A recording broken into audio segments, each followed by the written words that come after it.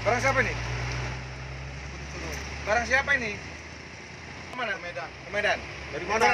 Jeffrey Angga, warga Cigiringsing, Kecamatan Ujung Berung, Kota Bandung, Jawa Barat, tak berkutik saat petugas menangkapnya di salah satu bus rute Aceh Medan di kawasan Jalan Lintas Sumatera.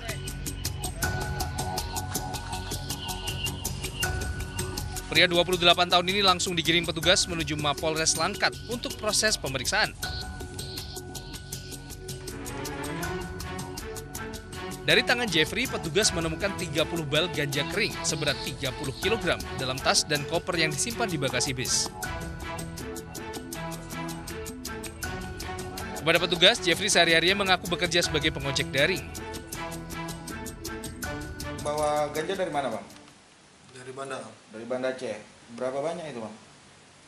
Setelah dibuka 30 kilo. 30 kilo. 30 bal ya. Rencana dari mana? Bawa ke mana? Bawa ke mana? Ke Medan. Ke Medan. Upaya Abang terima berapa? 3 juta 500. 3 juta. Abang warga mana sih, Bang? Marbun. Warga mana, Bang? Warga Bandung. warga Bandung. Jadi upaya yang Abang terima 3 juta setengah. Ya. Sampai ke mana mau diantar? Ke Medan. Kami tangkap seorang laki-laki orang Bandung di bis uh, antar lintas dan kita amankan, kita periksa ternyata ada ganja lebih kurang 30 bal atau 30 kg.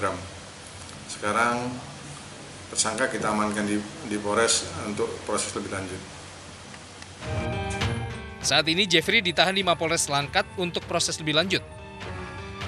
Dari Langkat, Sumatera Utara, Erwin Syaputra Nasution, iNews melaporkan.